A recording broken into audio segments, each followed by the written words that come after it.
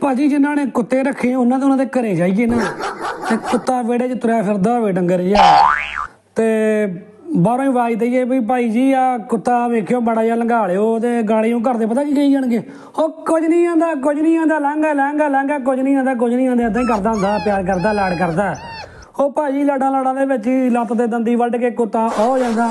ਮੁੜ ਕੇ ਘਰ ਦੇ ਅੰਦਰੋਂ ਭੱਜੇ ਆਉਣਗੇ ਸਾਬਣ ਲੈ ਕੇ ਗਾਚੀ ਜਿਹੜੀ ਦੇਸੀ ਤੇ ਕਹਿਣਗੇ ਆਜੋ ਫਿਰ ਉਹ ਟੂਟੀ ਤੇ ਹੀ ਆਜੋ ਬਾਹਰ 'ਚ ਤੇ ਟੂਟੀ ਦੇ ਘਰ ਜੀ ਬਣ ਕੇ ਪਾਣੀ ਪਾ ਕੇ ਜ਼ਖਮ ਤੇ। ਨਾਲੇ ਸਾਬਣ ਲਾਈ ਜਾਣਗੇ ਕਰਕੇ ਨਾਲੇ ਕਹਿਣਗੇ ਕੁਛ ਨਹੀਂ ਹੋਇਆ ਕੁਝ ਨਹੀਂ ਹੋਇਆ ਨੰਬਰ ਵੱਜੀ ਮਾੜੀ ਜੀ ਕੋਈ ਗੱਲ ਨਹੀਂ ਆ ਉੱਤੇ। ਉਤਲੇ ਮਾਸਤੀ ਆ ਨੰਬਰ ਹੀ ਵੱਜੀ ਨੰਬਰ ਹੀ ਵੱਜੀ ਭਾਜੀ ਫੇਰ ਜਿਹਦੇ ਦੰਦ ਵੱਜੇ ਹੁੰਦੇ ਬੰਦਾ ਫਿਰ ਉਹ ਕੱਚਾ ਹੋਵੇ ਘਰ ਨੂੰ ਤੁਰ ਪੈਂਦਾ। ਤੇ ਘਰ ਜਾ ਕੇ ਡਾਕਟਰ ਦੀ ਸਲਾਹ ਨਾਲ ਫਿਰ ਤਿੰਨ ਚਾਰ ਟੀਕੇ ਜਿਹੜੇ ਟ੍ਰੀਟਮੈਂਟ ਹੁੰਦਾ 15 20 ਦਿਨਾਂ ਦਾ ਫਿਰ ਉਹ ਟੀਕੇ ਟੂਕੇ ਲਵਾਉਂਦਾ।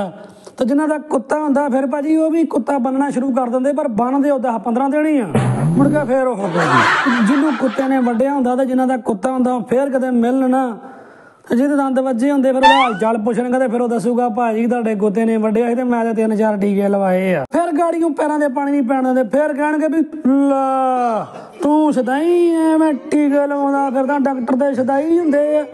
ਉਹ ਘਰ ਦਾ ਕੁੱਤਾ ਹੈ ਟੀਕੇ ਲੱਗੇ ਉਹਨੂੰ ਕਾਰਡ ਬਣਿਆ ਭਾਲ ਤੂੰ ਹੀ ਛਾਂਗਣਾ ਪਾ ਲਿਆ ਹਵਾਰਾ ਕੁੱਤਾ ਥੋੜੀ ਹਲਕਾ ਕੁੱਤਾ ਥੋੜੀ ਤੁਰ ਪਿਆ ਤੂੰ ਮੈਂ ਪੁੱਛ ਤਾਂ ਲੈਂਦੇ ਹੋ ਸਾਨੂੰ। ਹੁਣ ਕਹਿਣ ਦੀ ਗੱਲ ਇਹ ਆ ਵੀ ਭਾਈ ਵੀ ਇਹਨਾਂ ਕੁੱਤਾ ਰੱਖਿਆ ਹੁੰਦਾ ਉਹ ਪੈਰਾਂ ਦੇ ਪਾਣੀ ਨਹੀਂ ਪੈਣ ਦਿੰਦੇ। ਬੰਦੇ ਨੂੰ ਮਾੜਾ ਬਣਾ ਦੇਣਗੇ ਪਰ ਉਹਨਾਂ ਕੁੱਤੇ ਨੂੰ ਨਹੀਂ ਮਾੜਾ ਕਹਿਣ ਦੇਣਾ। ਫਿਰ ਕਿਉਂ ਨਾ ਇਹ ਵੀਡੀਓ ਜਿਨ੍ਹਾਂ ਨੇ ਕੁੱਤੇ ਰੱਖੇ ਉਹਨਾਂ ਨੂੰ ਸ਼ੇਅਰ ਕੀਤੀ ਜਾਵੇ?